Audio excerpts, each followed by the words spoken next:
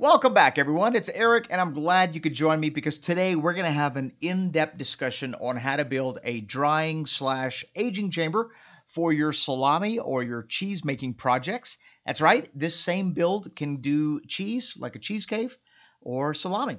And so we're going to cover all the equipment that you're going to need. And we're also going to look at a few things that you want to pay close attention to when building this chamber so that you can have success.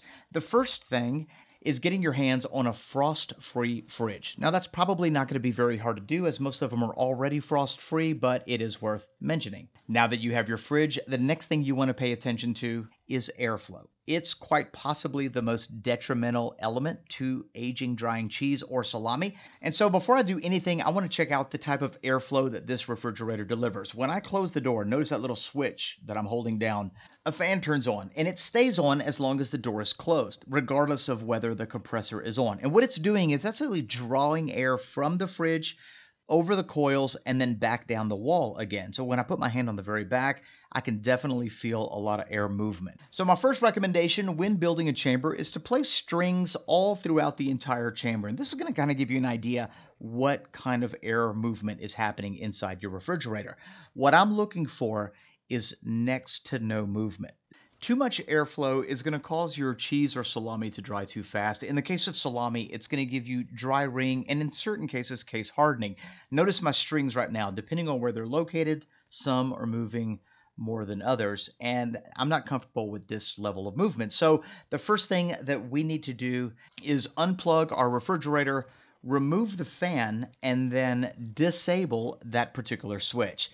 As we begin this particular build, I want you to know that every chamber is different. Some are going to require more modification than others. A matter of fact, at the end of this video, I'll show you a second chamber that required little to no modification. So here's what we're going to do. At the top of the fridge, when you remove that front panel, it exposes the controls. Here is the switch that is activating the fan, and this particular fridge allows me the option to just simply unplug it. So what I'm going to do is I'm going to unplug both of those plugs and as soon as I do that, this particular switch is now disabled. But I don't want to leave those plugs open, so we're just going to secure those with some electrical tape and then place them back inside. Now, since we're already up here, let me just show you a couple little things that I did. Directly behind the controller, you're going to notice a hole that's filled with like that great stuff foam. And what I did was I just went ahead and drilled in another hole opposite of that one. That particular panel, there's no need to worry about hoses or gas lines or anything like that. And so I drilled probably what is about a one and three quarter inch hole, enough to fit all of my cables through it. If you look directly above that, I put another hole at the very top. That's just a piece of sheet metal. And what I'm going to do is I'm going to run all of my cables from the top into that refrigerator, and you'll see how we'll do that in a second. Uh, at the very top, with some Velcro, I attached a surge protector, like a socket strip, you know, kind of thing going on, and um, that just securely fastens right there at the top of the fridge. And I'm going to have everything plugged into that. Okay, so we've disabled the switch, and now it's time to remove the fan because it's just blowing way too much air. I do want some air to blow across the coils, and that brings us to our very first piece of equipment. That's going to be a computer fan. Now, don't worry, there's going to be a link in the description box below where you can find everything that you need if you want to have this kind of build. But if you look at the computer fan, there's going to be an arrow that tells you which direction the air is going to be blowing. And what we want is we want the air to blow onto the coils. And the second piece of equipment that I have is a speed control for the fan, although I would put this in the optional category, not necessarily mandatory. I normally run mine at about 80%. But these little fans don't blow a tremendous amount of air. So if you run it at 100%, that's fine too. Uh, either way works. So what we're going to do is unplug it, and we're going to go ahead and just place the fan so that the direction of the air is blowing directly onto the coils. Basically the same as the other fan, just a whole lot slower. And I'm going to take the plug for that fan and I'm going to run it through the holes that I pre-drilled at the top of the refrigerator. And now we have our cable inside of the fridge and we can go ahead and hook up the fan. And that's it. Our airflow issue has been solved. Now that our fan is wired up, we can go ahead and place that back and then replace that guard. I do want to make sure that the wires aren't in the way when I do that, but this is what that's going to look like when we're done.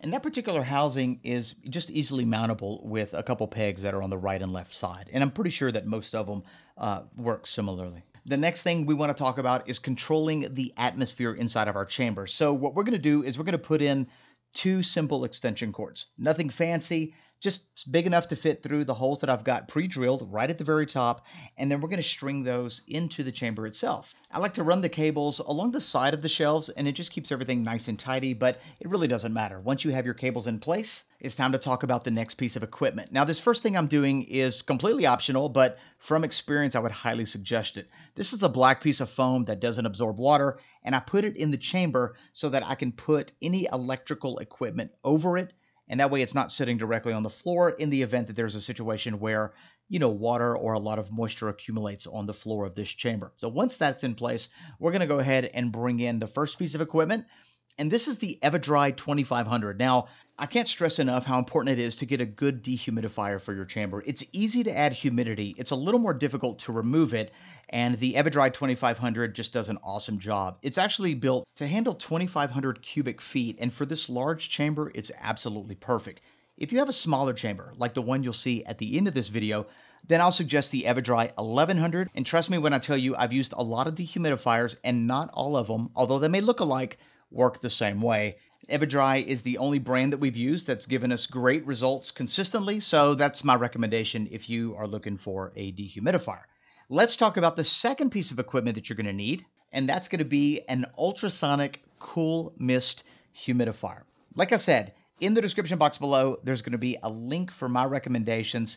There's a lot of different humidifiers on the market, some better than others. Some have a larger holding capacity for water, and the one you get will inevitably depend on the size of your chamber. Both of these units work together to control the humidity inside your chamber so it never gets too high or too low, which is absolutely critical in producing great salami and great cheese. Okay, we're now down to the very end of this build and we have to talk about the controllers. These controllers in essence take over your equipment based off of the parameters that you have them set at.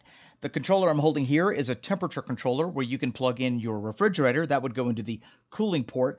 And if you had a heating pad or a heating lamp, that would go into the heating port. There's also a temperature probe that comes with this particular unit, and that's going to be inside the chamber. That's going to be telling your controller what the temperature is so that it knows how to adjust the values. The next controller that you're going to need to get is a humidity controller. This one's also by Inkbird. Both of these are reliable, effective, and affordable. Uh, this particular controller controls the humidifier and the dehumidifier. Work 1 is for the humidifier, work 2 is for the dehumidifier.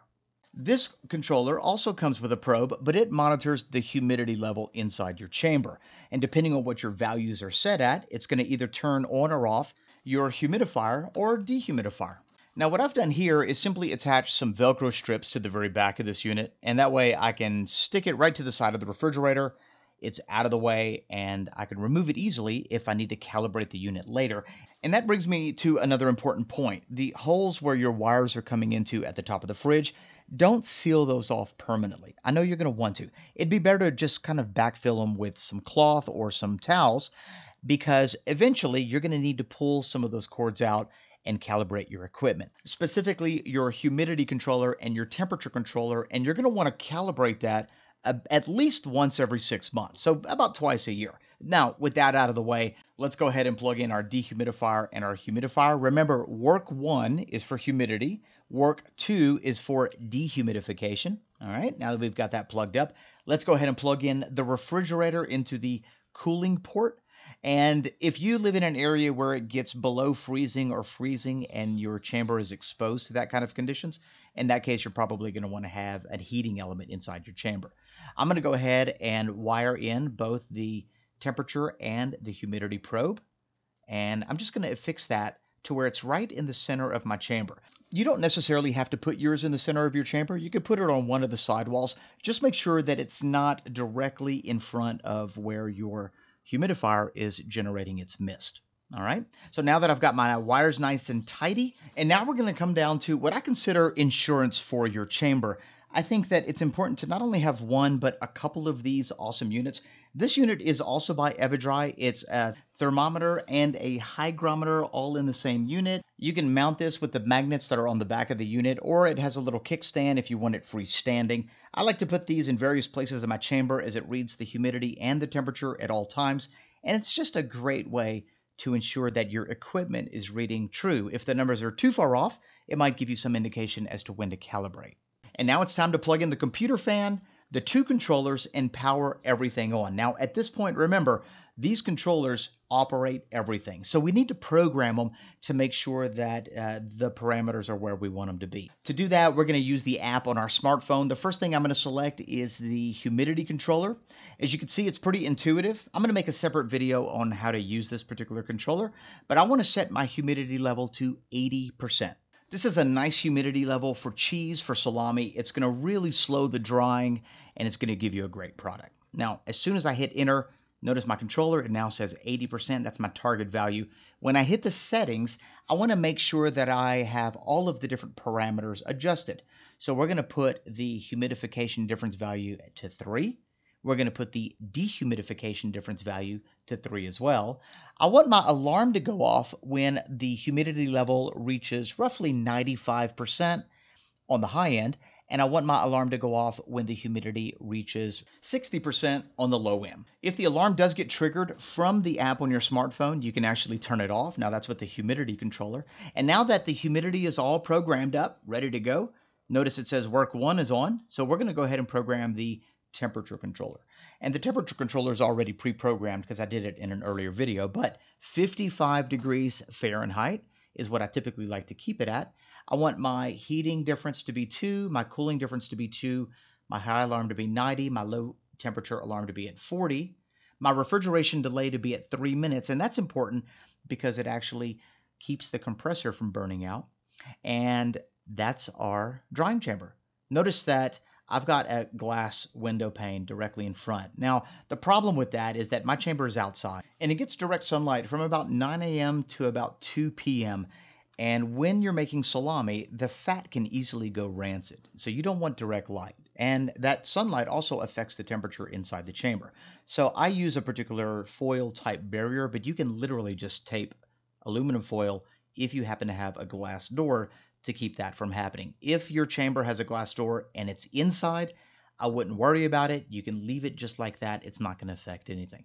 But like I said, if yours is going to be outside like mine, then you definitely want to protect that front to keep the temperature consistent inside your chamber.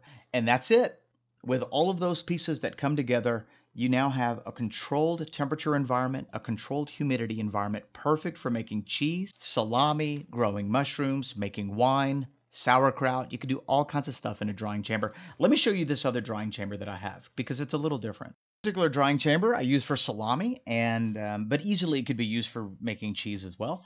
Let me explain to you what I did to turn this into a drying aging chamber. So at the top where the freezer section was, there was basically a divider. This divider looked like a plastic, basically floor. But when I started to cut at it with a knife, I realized that it was just styrofoam and I removed that entire divider between the freezer and the fridge. And between that divider, notice right there, you'll see a couple of vents. And that's where the cold is coming from. It generates from the back of the fridge. There's also vents at the top and then again at the very top of this particular fridge unit. And when I put strings through the whole thing, the amount of air that was being blown by the fridge was minimal. And so I didn't have to do anything to it.